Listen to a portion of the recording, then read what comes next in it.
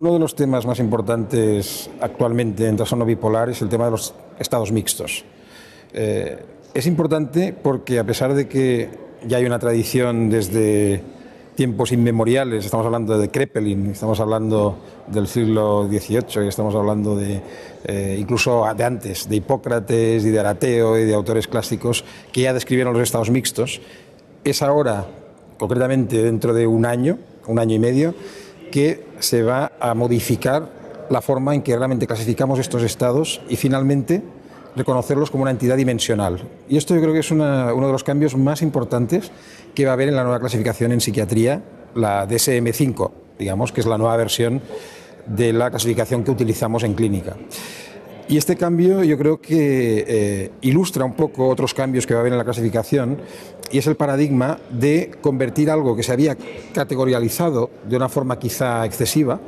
en eh, una entidad dimensional. ¿Qué significa dimensional?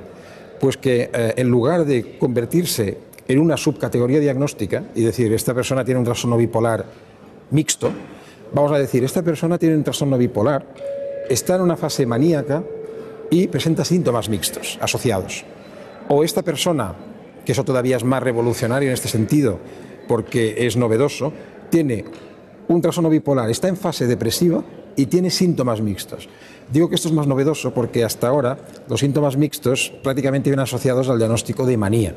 Y hablábamos de manía disfórica, manía mixta,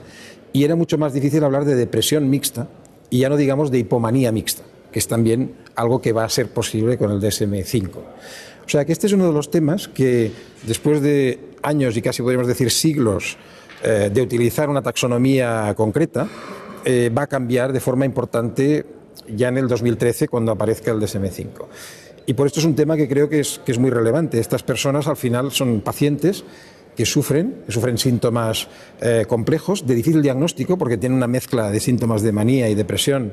que son, no son fáciles de diagnosticar cuando vienen entrelazados y que eh, sabemos que son difíciles de tratar, que responden eh, de forma menos limpia al tratamiento y a veces van a requerir tratamientos combinados y mucha pericia desde el punto de vista del manejo psiquiátrico.